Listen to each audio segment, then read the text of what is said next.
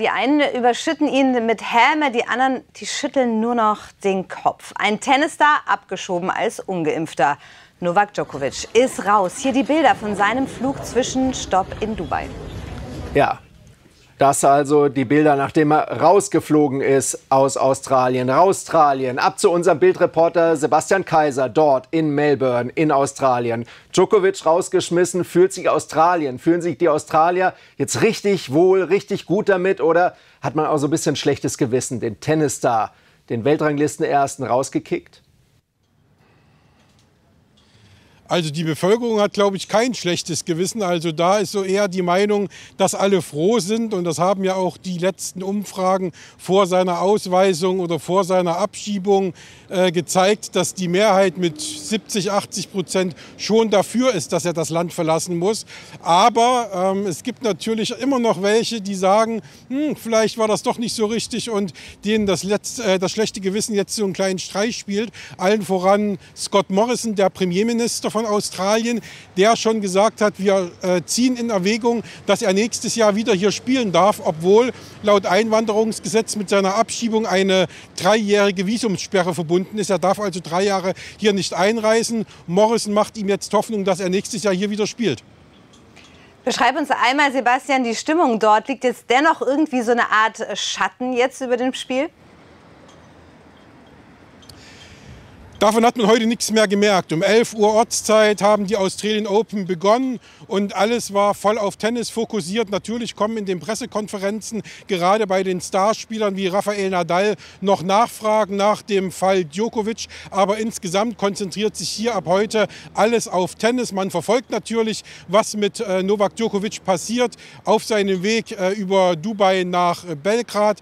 Aber letztendlich ist das nur noch ein Thema am Rande. Auch die Zeitungen, auch die Online-Ausgaben Ausgaben, die rund um die Uhr getickert haben, die sind längst nicht mehr so voll, Nova, äh, voll Djokovic-Meldungen, wie es noch bis gestern war.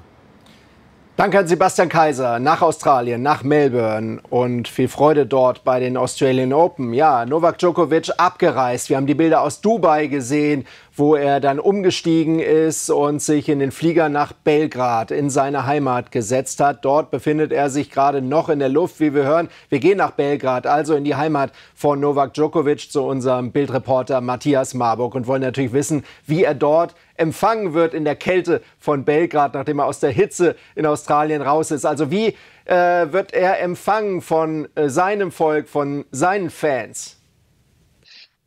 Äh, ja, es sind hier gefühlte 33 Grad kälter als bei unserem Kollegen äh, Sebastian Kaiser in Australien.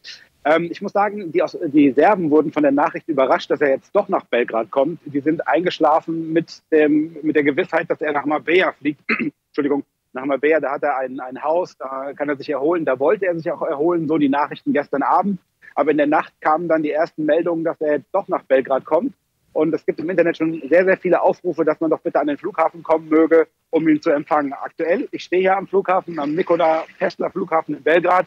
Ist hier allerdings noch nicht richtig viel los. Es sind aber auch noch ungefähr zweieinhalb, drei Stunden Zeit bis zur geplanten Landung von Novak Djokovic hier. Wie ist denn überhaupt gerade die Stimmung in Belgrad? Auch äh, Djokovic Eltern hatten sich ja ordentlich ins Zeug geworfen, ihn zum Helden sterilisiert. Wie Jesus würde es ihm gehen? Glaubst du, er ja, trifft dort weitestgehend, wenn sich dann jemand versammelt am Flughafen, auf Unterstützer oder auch auf solche, die sagen, ja gut, dass du wieder hier bist? Sebastian hat ja eben in Australien die Umfragen äh, angesprochen. Es gibt auch hier Umfragen in Serbien, da sind die Ergebnisse genau umgekehrt. Da sind zwischen 70 und 80 Prozent der Leute, die sagen, das war ein, ein, Skandal, dass sie ihn abgeschoben haben. Das geht so überhaupt nicht. So was dürfen sie mit äh, der Nummer eins der Tenniswelt, mit unserem Novak, nicht machen. Entschuldigung.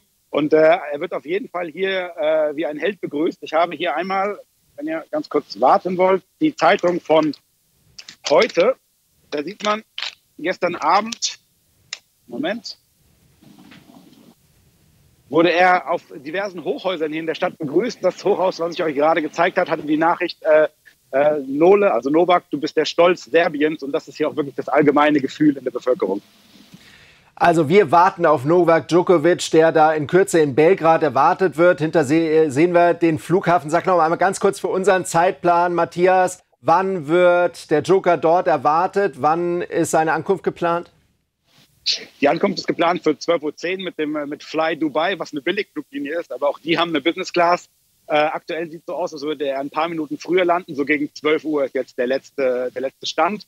Und das am VIP-Terminal. Das heißt also, sie werden versuchen, ihn irgendwie vielleicht sogar schon von der Landebahn zu holen, um äh, ihn so ein bisschen abzuschirmen. Das wird man sehen, wie genau, wie genau das geplant wird und wie das genau am Ende dann durchgeführt wird hier. Matthias Danke. Marburg, vielen herzlichen Dank für deine Einschätzungen. Bibbernd dort am Flughafen von Belgrad, wo in einigen Stunden Djokovic dann auch wieder zu Hause eintreffen Und wenn er denn ankommt in Belgrad, dann sind Sie mit uns dabei hier bei Bild Live. Aber wir schauen noch einmal rein in diesen ganzen Krimi Novak Djokovic, der sich über mehr als eine ganze Woche zog. Das Ende eines elf Tage andauernden Krimis. Tennisstar Novak Djokovic verlässt Australien, steigt in den Flieger und reist aus Down Under aus. Wie ist es dazu gekommen? Ein Rückblick. Der serbische Tennisprofi will für die Australian Open nach Australien reisen. Problem, er ist offensichtlich nicht gegen Corona geimpft. Am 5. Januar tritt er dennoch den Weg nach Melbourne an, wird aber bei der Einreise von den Behörden abgewiesen. Sein Visum ungültig. Er muss mehrere Nächte in einem australischen Abschiebehotel verbringen. Die Entscheidung sorgt für Diskussionen. Es kommt zu zahlreichen Protesten in Serbien und Australien. Der Fall Djokovic spaltet die Tenniswelt. Der ehemalige Wimbledon-Sieger Michael Stich hat zum Fall Djokovic eine klare Meinung. Ich glaube auch, dass die Diskussion gar nicht mehr um, um geimpft, Gefahr, nicht Gefahr, es geht jetzt ums Prinzip. Äh, es gab Regeln, äh, man hat sich, so wie man das verfolgen kann, nicht an diese Regeln gehalten. Ich hätte mir gewünscht, dass der, der Tennis Australia gesagt hätte, bei uns dürfen nur geimpfte Spieler spielen. Dann hätte es diese Diskussion überhaupt nicht gegeben. Am 10. Januar dann plötzlich positive Nachrichten für Djokovic. Ein Gericht entscheidet, dass der Serbe doch einreisen darf. Er kann seine Vorbereitung auf die Australian Open fortsetzen. Am vergangenen Freitag dann die erneute Wendung. Das Visum des Tennisstars wird zum zweiten Mal für ungültig erklärt. Die australische Regierung verschärft den Ton gegenüber Djokovic. Volle Breitseite gibt es auch von Tennisstar und seinem sportlichen Erzrivalen Rafael Nadal. Hm, ich sage euch eins, ganz klar, Novak Djokovic ist einer der besten Spieler der Geschichte, zweifellos. Aber es gibt keinen Spieler in der Geschichte, der wichtiger gewesen wäre als ein Turnier. Dann, dann ein Event. Auffällig, während seiner Zeit in Australien liefert Djokovic immer wieder widersprüchliche Aussagen. So soll er am 16. Dezember 2021 positiv auf Corona getestet worden sein. Kurz darauf tätigt er jedoch weitere öffentliche Auftritte, gibt unter anderem ein Interview mit der französischen Zeitung L'Equipe. Sonntag 7.56 Uhr deutscher Zeit. Die endgültige Entscheidung. Für Djokovic heißt es raus Trajen.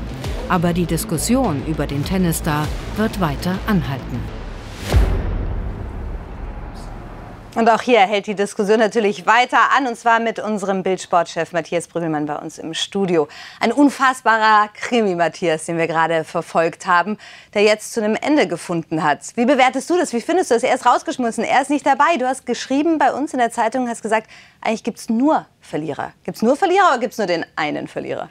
Also erstmal ist, glaube ich, diese Entscheidung erwartbar und konsequent gewesen wenn man sich anschaut, welche Regeln in Australien gelten. Und da kann man sich ganz einfach machen und sagen, man darf nur durchgeimpft einreisen. Djokovic ist nicht geimpft. Insofern völlig klar, dass er das Land verlassen muss. Dementsprechend sind ja auch die Umfragen, zum Beispiel in Deutschland, ja sehr, sehr klar. Bis zu 90 Prozent halten das für gerecht, weil eben die Regel korrekt angewandt wurde. Der zweite Punkt, der mir ein bisschen zu kurz kommt, ist, macht denn diese Regel überhaupt Sinn, die in Australien herrscht? Warum soll ein Tennisspieler, der gesund ist und negativ PCR getestet ist, nicht ein Tennisturnier spielen? Das ist so ein bisschen in den Hintergrund geraten.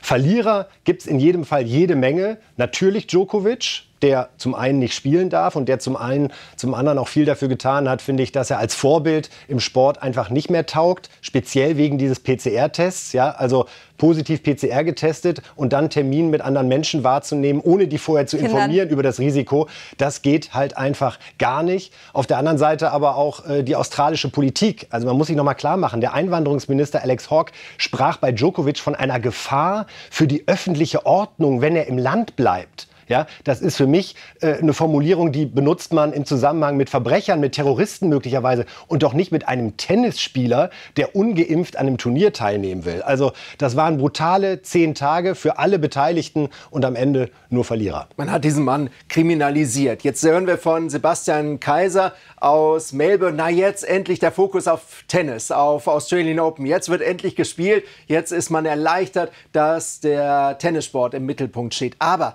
bei dem, der gewinnen wird, die Australian Open, wird man doch immer sagen, naja, Joko war halt nicht dabei, der Joker war halt nicht dabei. Wenn unser Alex Zverev jetzt gewinnt, wird man sagen, naja, ist schon schön, aber Djokovic war nicht dabei. Absolut. Das ist der Makel, äh, der an dem Australian Open-Sieger 2022 haften wird, dass der vermutlich aktuell beste Tennisspieler der Welt nicht dabei ist. Darum, wenn Zverev es irgendwie steuern kann, wann er sein erstes Grand Slam-Turnier gewinnt, fände ich es auch besser. Es wäre eins, bei dem Djokovic dabei ist, sei es die French Open, sei es Wimbledon oder vielleicht die US Open.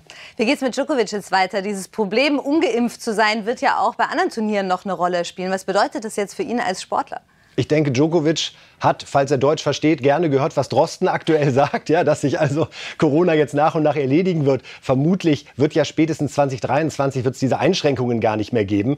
Die French Open, das nächste große Turnier, haben auch keine Impfbedingungen aktuell. Also da könnte er spielen. Und ich glaube, dass Djokovic, das ist ja ein äh, super Sportler, das steht ja außer Frage, ein Mentalitätsmonster, der wird jetzt durch diesen Ausschluss eher angestachelt. Ich glaube, der sagt sich jetzt, jetzt erst recht. Und jetzt zeige ich allen, dass ich der Beste bin. Und wenn ich nächstes Jahr in Australien einreisen darf, dann schaffe ich das, was seit Jahrzehnten keiner mehr geschafft hat, alle vier Grand Slam Turniere in einem Jahr zu gewinnen. Ich glaube, jetzt er packt's. Gibt sowas wie eine kleine Solidarisierungswelle mit ihm? Er war nie besonders beliebt. In der ersten Reaktion haben sich alle von ihm abgekehrt. Boris Becker, Riesenfehler, sagt er, den Novak Djokovic gemacht hat. Äh, Rafa Nadal sowieso äh, total gegen ihn. Auch Alex Zverev am Anfang gegen Novak Djokovic. Gibt es jetzt sowas wie eine leichte Solidarisierungswelle, dass man sagt, okay, das war jetzt schon knallhart und wir wollen doch auch wieder gegen ihn spielen demnächst, gegen den Novak Djokovic? Ich glaube, das hängt entscheidend davon ab, welchen Ton Djokovic jetzt anschlägt. Man hat ja schon bei seinem ersten Statement